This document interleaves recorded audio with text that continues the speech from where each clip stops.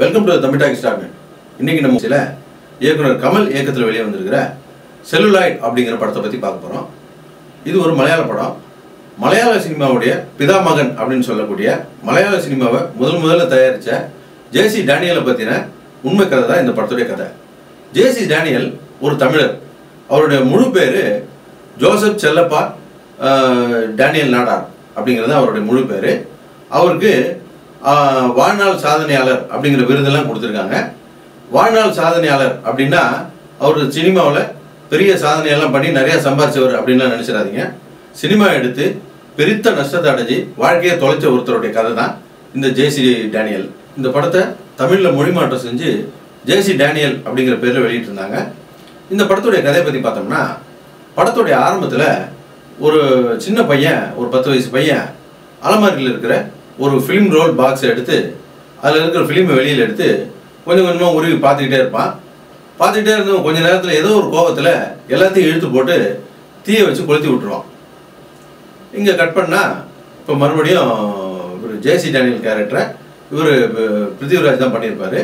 அவர் இந்திய சினிமாவுடைய பிதாமகனாகிய பால்கேவை பார்க்கறதுக்காக பாம்பேக்கு போயிருப்பார். அவரை சந்தித்து அவர்கிட்ட சினிமாவை பற்றின ஐடியா தெரிஞ்சுக்கிறதுக்காக போயிருப்பார்.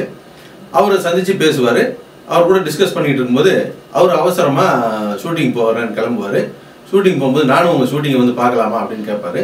இவர் புறப்பட்டு போய் அந்த ஷூட்டிங்கை பார்ப்பாரு. ஷூட்டிங்கை பார்த்துட்டு திரும்ப புறப்பட்டு மெட்ராஸுக்கு வந்துடுவார் இங்கே வந்தவர் நடராஜ முதலியாரை சந்தித்து அவர் தான் இங்கே தமிழில் முதல் முதல்ல படம் எடுத்தவர். அந்த சமயத்தில் கொடி கட்டி பறந்துட்டு இருந்தவர். அவரை சந்தித்து சினிமா எடுக்கிறத பற்றின டீட்டெயில்ஸ் கேட்பாரு. கேரளாவில் நான் தான் முதல் முதல்ல படம் எடுக்க போகிறேன் அப்படின்னு சொல்லுவார். அவருடைய கேமராமேன்ட்ட நான் டிஸ்கஸ் பண்ணலாமா அப்படின்னு கேட்பாரு. அவருடைய கேமராமேன் ஒரு வெள்ளைக்கார் இருப்பார். அவர்கிட்ட போயிட்டு நான் மலையாளத்தில் படம் எடுக்க போகிறேன் எனக்கு நீங்கள் வந்து கேமரா ஒர்க் பண்ணி கொடுப்பீங்களா? அப்படின்னு கேட்பாரு. இல்லை நான் வர முடியாது. என்னுடைய அசிஸ்டண்ட் ஒருத்தர் அனுப்புகிறேன் நான். எனக்கு தெரிஞ்சவர் அப்படின்னு சொல்லுவார். கேமராவுக்கு என்ன பண்ணலாம்? அப்படின்னும்போது கேமராவை விலைக்கு வாங்கி தான் ஆகணும். அப்படின்னு அவர் சொல்லுவார்.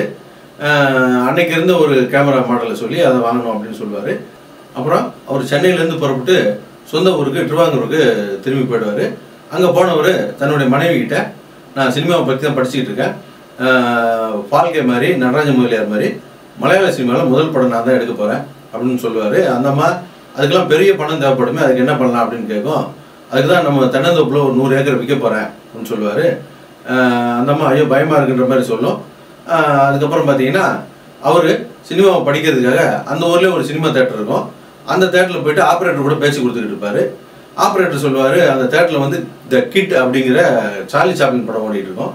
நம்ம ஊரில் தாங்க இந்த புராண படம் சாமி படம்னு எடுத்து உயிர் எடுத்துகிட்டு இருக்காங்க. பாருங்கள் பாருங்க இங்கே வெள்ளக்காரன் பாருங்க இந்த மாதிரி படம் எடுக்கிறான். நீங்களும் ஒரு சோசியல் ட்ராமா எடுங்க அப்படின்னு சொல்லிட்டு அந்த ஆப்ரேட்டர் சொல்லுவார். அதனால இவர் முடிவு பண்ணிட்டு விகதகுமாரன் அப்படின்னு சொல்லிட்டு ஒரு கதையை ரெடி பண்ணி அதை தான் படமாக எடுக்க போகிறேன் அப்படின்னு சொல்லிட்டு போவார். படம் எடுக்கிறதுக்கு ஹீரோயின் வேணும் இல்லையா? ஹீரோயினுக்கு தேடுறதுக்காக பாம்பேக்கு போவார். உள்ளூரில் கிடைக்காது. அந்த காலத்துலாம் பார்த்தீங்கன்னா சினிமாவில் நடிக்கிறது கேவலம் அப்படின்னு சொல்லிட்டு யாரும் நடிக்க வர மாட்டாங்க. அதனால் ஹீரோயினை தேடி பாம்பேக்கு போவார். பாம்பேக்கு போனால் அங்கே ஒரு ஹீரோயின் இருப்பாங்க. அந்த ஹீரோயின் வந்து ஒரு நாளைக்கு நூறுரூவா அப்படின்னு அந்த அந்த காலத்தில் பேசி அப் அண்ட் டவுன் ஃபேர் எல்லாம் வேறு கொடுக்கணும் அப்படின்னு சொல்லி கராராக பேசி கூப்பிட்டு வருவார். கூப்பிட்டு வந்தால் அந்த அம்மா இங்கே வந்த உடனே ரயில்வே ஸ்டேஷனில் வாசலில் குதிரை வண்டி நிற்கும் வாங்க குதிரை வண்டியில் ஏறுங்கன்ன உடனே குதிரை வண்டிலையா என் மகன் நடிகை அதெல்லாம் ஏற மாட்டா அப்படின்னு சொல்லி அப்போ இருந்து சீன் போட ஆரம்பிச்சிடும் இங்கே குதிரை வண்டி தான் இருக்குது வேறு வழி இல்லைன்னு ஐயா அப்படின்னா நான் திரும்பி போகிறேன் கார் இருக்கிற ஏற்பாடு பண்ணுங்கன்னு சொல்லும். எங்கள் ஊர்லேயே ரெண்டு கார் தான் இருக்குது அப்படின்னு சொல்லி பார்ப்பாங்க அது முடியவே முடியாதுன்றோம். அப்புறமா காரை ஏற்பாடு பண்ணி ஒரு நாலு மணி நேரம் கழித்து கூட்டு வருவார் இவர் வீட்டுக்கு. இவர் வீட்டுக்கு கூட்டு வந்தோடனே அவங்கள தங்க வைக்கிற ஏற்பாடெல்லாம் வீட்டில் தான் செஞ்சு வச்சுருப்பாரு. இங்கே தான் நீங்கள் தங்க போகிறீங்க அப்படின்னு சொல்லுவார். அதுக்கு அந்த அம்மா இருந்துக்கிட்டு என் மகன் நடிகை இந்த வீட்டில் தங்குவாளா? அப்படின்றோம். அப்போ எங்கே நான் தங்க போகிறீங்க அப்படின்னு கேட்டதுக்கு நான் வர்ற வழியில் ஒரு பெரிய மாளிகை பார்த்தேன் அதில் தான் தங்கணும் அப்படின்னும். அது பார்த்தா ஒரு பெரிய ராஜாவுடைய அரண்மனை அதில் தான் தங்கணும்னா இவர் கூட இருக்கவர் சொல்லிடுவார் எப்பா இதெல்லாம் வச்சு கட்டி இழுக்க முடியாது. இது ஊருக்கு வெட்டி விடு அப்படின்னு சொல்லிடுவாங்க. அதனால் இந்த அம்மா வந்து திருப்பி அனுப்பி விட்ருவாங்க இப்போது ஹீரோயினுக்கு என்னடா பண்ணுறது அப்படின்னு யோசிக்கும்போது அந்த ஊர்லேயே சமீபத்தில் தாழ்த்தப்பட்ட ஜாதியிலேருந்து கிறிஸ்தவ மதத்துக்கு மாறின ரோசம்மா அப்படிங்கிற ஒரு பொண்ணு கிறிஸ்தவ நாடகங்கள்லாம் நடிச்சிக்கிட்டு இருக்கோம். அந்த பொண்ணு போய் அந்த நாடகத்தில் பார்ப்பாங்க. அந்த பொண்ணோட நடிப்பு பிடிச்சி போயிட போய் அந்த பொண்ணையே ஹீரோயினாக ஃபிக்ஸ் பண்ணிவிடுவாங்க இப்போது ஷூட்டிங் த தயாராகிடும் அந்த பொண்ணு ஷூட்டிங்க்கு வரும். குதிரை வண்டியில் வந்து இறங்கும். தூக்கு சட்டியில் சாப்பாட்டோடு வந்து இறங்கும். வீட்டிலேருந்து சாப்பாட்டே எடுத்துகிட்டு வந்துடும் இன்றைக்கெல்லாம் பார்த்தீங்கன்னா நடிகைகள்லாம் ஒரு சில நடிகை மத்தியான சாப்பாட்டுக்கு மட்டும் 10000 ரூபாய்க்கு சாப்பிட்ற நடிகைகள்லாம் இருக்காங்க. மலையாள சினிமாவுடைய முதல் ஹீரோயின் தூக்கு சட்டியில் தான் சாப்பாடு எடுத்துகிட்டு வந்து சாப்பிட்ருக்குறாங்க இப்போ அந்த பொண்ணை பார்த்துட்டு படத்துடைய கேமராமேன் ஒரு வெள்ளைக்காரரு. அவர் கேட்பாரு இந்த பொண்ணு கருப்பாக இருக்கு கேமராவுக்கு நல்லா இருக்காது அப்படின்னு சொல்லுவார். அதனால் அந்த பொண்ணுக்கு ஓவர் மேக்கப்லாம் போட்டு ஒரு நாயர் பொண்ணாக நடிக்கும். ஒரு தாழ்த்தப்பட்ட ஜாதியை சேர்ந்த ஒரு பொண்ணு நாயர் பொண்ணாக அந்த படத்தில் நடிக்கும். நடிக்கும்போது கேட்கும் என்ன டயலாக்னு கேட்கும். இது வந்து நீ நாடகத்தில் மாதிரி ஒரே ஸ்ட்ரெச்சில் நடித்து முடிக்க தேவையில்ல. இது சினிமா துண்டு துண்டாக தான் எடுப்போம். நீ கொஞ்சம் கொஞ்சம் நடித்தா போதும் அப்படின்னு சொல்லுவாங்க. இது ஊமை படன்றதுனால ஆக்ஷன் மட்டும் பண்ணால் போதும் அப்படின்னு சொல்லிடுவாங்க. அப்புறம் மத்தியானம் லஞ்ச் பிரேக் விட்ருவாங்க லஞ்ச் பிரேக்கில் அந்த பொண்ணு வந்து வெளியில் உட்காந்து சாப்பிட்டுக்கிட்டு இருக்கோம். பிருத்திவிராஜ் வந்து பார்ப்பாரு. என்ன ரோசமா வெளியில் உட்காந்து சாப்பிட்டுக்கிட்டு இருக்க? அப்படின்னு கேட்பாரு. அந்த பொண்ணு தயங்கி தயங்கி உட்காந்துருக்கோம் இந்த பாரு ரோசம்மா சினிமாவில் தீண்டாமையெல்லாம் கிடையாது. எல்லோரும் இங்கே சரிசமம் தான் அப்படின்னு சொல்லிட்டு போவார். அப்புறம் பார்த்தா இந்த ரோசம்மாவுடைய ஃப்ரெண்ட்ஸ் எல்லாம் சொல்லுவாங்க. பரவாயில்லடி ரோசம்மா நீயாவது வந்து ஹீரோயின் ஆகிட்ட அப்படின்னு சொல்லிட்டு சொல்லும்போது அந்த பொண்ணு ஒரு கனவில் வாழ்ந்துகிட்டு இருக்கோம். இப்போது மேற்கொண்டு படத்தை எடுப்பாங்க. படத்துக்காக இந்த ரோசம்மா அப்படிங்கிற பேரை ரோசின்னு மாற்றிடுவாங்க படமும் எடுத்து முடிச்சிருவாங்க. படத்தினுடைய ரிலீஸுக்கான வேலையெல்லாம் நடக்கும். பெரிய விளம்பரம்லாம் பண்ணுவாங்க. அந்த காலத்தில் இந்த மைக்கை வச்சுக்கிட்டு கத்திட்டு போவாங்க. நம்ம ரோசம்மா நடித்த இந்த படம் வெளிவரப்போது ஜேசி டேனி டேனியல் டைரக்ஷனில் அப்படின்னு சொல்லிட்டு கத்திட்டு போவாங்க. தேட்டரில் தோரணங்கள்லாம் கட்டி உள்ளூர் தேட்டர்லேயே ஃபஸ்ட்டு அந்த படத்தை ரிலீஸ் பண்ண முயற்சி பண்ணுவாங்க. உள்ளூர் தேட்டரில் பார்த்தீங்கன்னா ஹீரோயின் படம் பார்க்குறதுக்காக தேட்டர் வாசலில் வந்து நின்றுட்டு இருக்கோம். தேட்டருக்குள்ளே உள்ளே நுழையும் போது அந்த படத்தை பார்க்குறதுக்காக உள்ளூரில் இருக்கிற பெரிய மனுஷன்லாம் வர வச்சுருப்பாங்க. வக்கீல் உள்ளூரில் இருக்கிற உயர்ந்த ஜாதிக்காரங்கெல்லாம் வர வச்சுருப்பாங்க. இந்த ஹீரோயின் உள்ளே நுழையிறத பார்த்துட்டு ஏய் நீலாம் உள்ளே வரக்கூடாது. ஓடிப்பா அப்படின்னு சொல்லிட்டு விரட்டி விட்டுருவாங்க. அந்த பொண்ணு போய் தேட்டர் வாசல் நின்றுக்கிட்டு இருக்கோம். இந்த பெரிய மனுஷங்களாம் வர வரைக்கும் கொஞ்சம் லேட் ஆகிட்டு இருக்கும். அவங்க வந்த பிறகு படத்தை போடுவாங்க. படத்தை போட்ட உடனே கொஞ்ச நேரத்திலலாம் படத்தில் பார்த்தா ரோசம்மா நாயர் பொண்ணாக நடிச்சிக்கிட்டு இருக்கோம். உடனே அங்கே இருக்கிற உயர்ந்த ஜாதிக்காரங்களாம் இந்த தாழ்த்தப்பட்ட பொண்ணை வந்து படத்தில் நடிக்க வச்சதே பெரிய தப்பு. அவர் நாயர் பொண்ணை வேறு நடிச்சுக்கிட்டு இருக்கா. இந்த படத்தெல்லாம் ஓட்ட ஓடக்கூடாது அப்படின்னு சொல்லிட்டு படத்தை நிறுத்தி நிறுத்தின்னு கலாட்டா பண்ணி படத்தையே நிப்பாட்டிடுவாங்க. இத்தனை இவ்வளோ பணத்தை போட்டு எடுத்த ஜாசி டேனியலுக்கு பெரிய அதிர்ச்சியாக இருக்கும். படத்தை மேற்கொண்டு அடுத்த ஷோ கூட ஓட்ட முடியாது. ஒரே ஷோவோட படம் நின்று போயிடும். வெளியில் நின்று இந்த ரோசம்மாவையும் அடித்து விரட்ட ஆரம்பிச்சிருவாங்க. ரோசம்மாவோட வீட்டுக்கெல்லாம் தீ வச்சு விட்ருவாங்க உனக்கெல்லாம் திமிரா? அப்படின்னு சொல்லிட்டு. மலையாள சினிமாவுடைய முதல் கதாநாயகியான ரோசம்மா தான் நடித்த காட்சிகளே கூட திரையில் பார்க்க முடியாமல் அடித்து விரட்டப்பட்ட சோகத்தோடைய மலையாள சினிமா முதல் முதல்ல ஆரம்பிக்கப்பட்டிருக்கு. அதுக்கு பிறகு அந்த படத்தை ஒன்று ரெண்டு ஊரில் ரிலீஸ் பண்ணியிருக்காரு. அங்கேயும் இந்த மாதிரி பிரச்சனை வந்திருக்கு. படமும் சரியாக போகலன்றதுனால ஜேசி டேனியல் பெருத்த நஷ்டம் அடைஞ்சார் அப்படிங்கிறதோட இந்த பாகம் முடியுது. இந்த பாகம் முடிஞ்ச பிறகு ஜேசி டேனியல் ஒரு ஊரில் குடியிருக்காரு அப்படிங்கிறத தெரிஞ்சுக்கிட்டு அவரை பற்றி விவரங்களை சேகரிக்கிறதுக்காக ஒரு பத்திரிக்கைக்காரர் வர்றாரு. அந்த பத்திரிக்கைக்காரர் ஜேசி டேனியலை சந்திக்கும் போது அவர் அவர் கூட முகம் கொடுத்து பேசக்கூட தயாராக இல்லை. ரொம்ப வேதனையோடு வாழ்ந்துக்கிட்டு இருக்காரு வயசான காலத்தில். அப்போது அவர் கொஞ்சம் கொஞ்சமாக பேச்சு கொடுக்க ஆரம்பிக்கிறாரு. பேச்சு கொடுத்தவர் அவரை பற்றி தெரிஞ்சுக்கிட்டு கேரள அரசாங்கத்திட்ட ஏதாவது உதவி வாங்கி கொடுக்கலாம் அப்படின்ட்டு போகிறாரு கேரள அரசாங்க அதிகாரிகளை போய் அவர் சந்திக்கும் போது அவங்க என்ன சொல்கிறாங்கன்னா சரி விகதகுமாரன் தான் ஃபஸ்ட்டு படம் மலையாள படம்னு நீங்கள் சொல்கிறீங்க பாலன் தான் மலையாளத்தில் வந்த ஃபஸ்ட்டு படம் அப்படிங்கிறதுக்கு தான் இங்கே ஆதாரம் இருக்குது ஏன்னா விகதகுமாரன்ற படம் இருந்ததுக்கான ஆதாரமே இல்லை. அந்த ஃபிலிம் ரோல் எங்கே அப்படின்னு கேட்குறாங்க அந்த ஃபிலிம் ரோலை தான் நம்ம ஃபஸ்ட்டு சீனை சொன்னோம் பார்த்தீங்களா இவர் ஜேசி டேனியலுடைய பையனே அந்த ஃபிலிம் ரோலை கொளுத்திட்டாரு அப்படிங்கிறது தான் அதோடைய சீனு அப்பா மேலே இருக்க கோவத்தில் எப்படி வசதியாக இருந்திருக்க வேண்டிய நம்ம இப்படி ஆயிட்டமேன்றதுக்காக அவர் கொளுத்திட்டாரு. அப்போ ஆதாரமும் கிடையாது. சரி அப்படியே அது ஃபஸ்ட்டு படமாக இருந்தால் கூட அது ஊம படம் தானே? அது மலையாள படம் கிடையாதுல்ல? ஊம படத்தை வந்து இந்த மொழி படம்னு எப்படி சொல்ல முடியும்? அப்படின்னு சொல்லி தட்டி கழிக்கிறாங்க. தட்டி கழிக்கிறதுக்கு பல காரணங்கள் சொல்கிறாங்க ஜா ஜாதி பிரச்சனையை சொல்கிறாங்க அப்புறம் மொழி பிரச்சனை. அவர் தமிழர் தானே தமிழ்நாட்டில் கேட்க வேண்டியதானே அப்படின்னு கேட்குறாங்க அவர் தமிழராக இருந்தால் கூட முதல்ல மலையாளத்தில் தானே படம் எடுத்திருக்காரு அப்படின்னு சொல்லி இவரெல்லாம் ஆர்கியூ பண்ணி பார்க்குறாரு எதுவுமே நடக்கலை.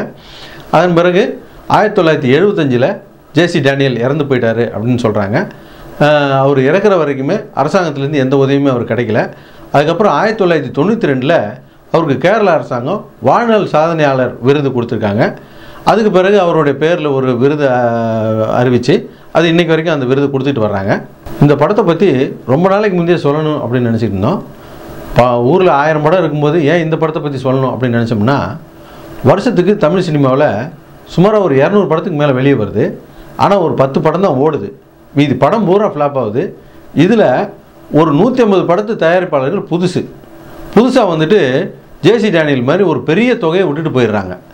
இவங்கெல்லாம் விட்டுட்டு போகிறதுக்கு காரணம் சினிமா கிடையாது. அவங்களுக்கு தொழில் திறமையோ தொழில் பற்றின அறிவு இல்லாததான் முக்கியமான காரணம். அதுதான் நான் சினிமாவில் இருக்க பெரிய தயாரிப்பாளர் சங்கத்தில் இருக்கவங்களையும் கேட்போம். பெரிய ஆட்கள்லாம் கேட்டால் ஏன் இந்த மாதிரி புது புது ஆட்கள் வர்றாங்கல்ல? இவங்களுக்கெல்லாம் முதல்ல ஒரு கவுன்சிலிங் மாதிரி கொடுக்கக்கூடாதா அப்படின்னா சொன்னால் எங்கே கேட்குறாங்க நான் நீங்கள் சொல்கிறதெல்லாம் கரெக்டுங்க சினிமா நஷ்டமெல்லாம் ஆகும். ஆனால் நான் எடுக்கிற படம் ஓடும். ஒரு ராக மாதிரி ஓடும். சேது மாதிரி ஓடும். நீங்கள் வேணால் பாருங்கள் அப்படின்னு அவங்க ஓவர் கான்ஃபிடென்ஸில் வர்றாங்க அப்படின்னு சொல்லுவாங்க. நீங்கள் எடுக்கிற படம் நல்லா ஓடட்டும். வேணான்னு சொல்லல. ஆனால் சினிமானா என்னென்னு தெரிஞ்சுக்கிட்டு வரணும் இல்லையா? நீங்கள் நல்ல படமே எடுத்துட்டா கூட அதுக்கப்புறம் இந்த மாதிரி பிரச்சனையெல்லாம் வருது இல்லை அதனால் சினிமா எடுக்க வர்றவங்க முதல்ல சினிமாவை பற்றி நல்லா தெரிஞ்சுக்கிட்டு அப்புறமா படம் எடுக்க ஆரம்பித்தா நல்லாயிருக்கும் அப்படிங்கிறது எங்களுடைய கருத்து. இப்போ இதை பற்றி ஏன் யோசித்தோம் அப்படின்னு சொன்னால் சமீபத்தில் இயக்குனர் எஸ்பி ஜனநாதன் உலகாயுதம் அப்படின்னு சொல்லிட்டு ஒரு அமைப்பை நிறுவி அந்த அமைப்பு மூலமாக சினிமா துறையில் வாழ்நாள் சாதனை படைத்தவங்க இன்றைக்கி துறையை விட்டு போனவங்க அவங்களெல்லாம் தேடி பிடிச்சி அவங்களுக்கு ஒரு அங்கீகாரம் கொடுக்குற அளவில் அவங்கள அவங்களுக்கு கௌரவம் செலுத்துகிற மாதிரி அவங்களுக்கு ஒவ்வொருத்தருக்கும் ஒரு கோல்டு காயின் கொடுக்குறதா திட்டம் போட்டிருந்தாரு. அந்த கோல்டு காயின் ஒரு நூறு பேர் கொடுக்குறதா போட்டிருந்தாங்க. அந்த நூறு கோல்டு காயினுக்கான பொறுப்பை விஜய் சேதுபதி தன்னுடைய சொந்த செலவில் ஏற்றுக்கிறதா அப்படி சொல்லியிருந்தார். அதில் பார்த்தீங்கன்னா இன்றைக்கி சினிமா ஆப்ரேட்டருங்கெல்லாம் இல்லவே இல்லை. சினிமாவில் முன்னே ப்ரொஜெக்டர் இருந்துச்சு அதை ஆப்ரேட் பண்ணுறதுக்கு ஆப்ரேட்டர் இருந்தாங்க. இப்போ ப்ரொஜெக்டர்னே ஒன்றும் இல்லாதனால ஆப்ரேட்டர் அப்படிங்கிற தொழிலே அடிபட்டு போச்சு. அப்போது அவங்களுக்கெல்லாம் என்ன சினிமா திருப்பி செஞ்சுது அப்படிங்கிறதுக்காக இப்படி ஒரு விஷயத்தை பண்ணதாக சொன்னாங்க. இதை கேட்கும்போதே நமக்கு சந்தோஷமாக இருந்தது. இது பெப்சியில் இருக்கக்கூடிய அனைத்து அமைப்புகளுக்கும் இதை செய்ய போகிறதா சொன்னாங்க. பெப்சியில் இருக்கக்கூடிய இருபத்தி மூணு கிராஃப்டில் ரெண்டு கிராஃப்டில் நேரடியாக நான் உறுப்பினராக இருக்கிறதுனால வெப்சி உறுப்பினர் அப்படிங்கிற முறையில் விஜய் சேதுபதிக்கும் எஸ்பி ஜெகநாதனுக்கும் எங்களுடைய நன்றியை தெரிவிச்சுக்கிறோம். இந்த பரிசு வழங்குகிற நிகழ்ச்சியை தொழிலாளர் தினமான மே ஒன்றாந்தேதி நடத்த போகிறதா சொல்லியிருந்தாங்க. அதுக்கான அந்த ப்ரெஸ் மீட்டில் தான் ஜேசி டேனியல் மாதிரியான ஆட்களுக்கும் கௌரவம் செலுத்தணும் அப்படிங்கிற ஒரு பேச்சு வந்தது. அந்த வகையில் நம்ம பங்குக்கு என்னடா செஞ்சோம் அப்படின்னு யோசித்து தான் அவரை பற்றின இந்த நிகழ்ச்சியை பண்ணியிருக்கிறோம். அது மட்டும் இல்லாமல் அந்த காலத்தில் தான் ஜேசி டேனியல் இந்த மாதிரியான பிரச்சனைகளை சந்திச்சாருன்னா இன்றைக்கி வரைக்கும் இந்த ஜாதி மதம் மொழியை வச்சுக்கிட்டு இன்னும் சினிமாவை பாடாதான் படுத்திக்கிட்டு இருக்காங்க. சமீபத்தில் பார்த்தீங்கன்னா விருமாண்டி படத்தை எடுத்துங்க விஸ்வரூபம் படத்தை எடுத்துங்க.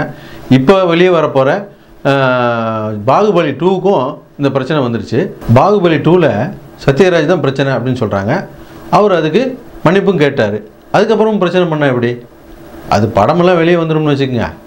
ஆனால் அதை பார்த்துவிட்டு நம்ம ஆளுங்க இந்த ஃபேஸ்புக்லேயும் ட்விட்டர்லேயும் இந்த படம் வெளியே வரலன்னா இங்கே இருக்க ரஜினிகாந்த் துரத்தி விட்டணும் பிரகாஷ் ராஜை துரத்தி விட்டணும் பிரபுதாவை துரத்தி விட்டணுன்றது அது அதை விட கேவலமாக இருக்குது சினிமாவை சினிமாவை பாருங்கள் உங்களுக்கு இது ஜனநாயக நாடு. சினிமாவில் இருக்கிற கருத்து உங்களுக்கு பிடிக்கலையா? கோர்ட்டுக்கு போங்க. அதை விட்டுவிட்டு வன்முறையை கையில் எடுக்கிறதுலாம் ரொம்ப அராஜகமான வேலை. எங்களுடைய நிகழ்ச்சிகள் உங்களுக்கு பிடித்திருந்தால் உடனுக்குடன் கண்டு மகிழ கீழே உள்ள யூடியூப் சேனல் சப்ஸ்கிரைப் பண்ணுங்கள் ஃபேஸ்புக் ட்விட்டரில் லைக் பண்ணுங்கள் ஃபாலோ பண்ணுங்கள் நன்றி வணக்கம்.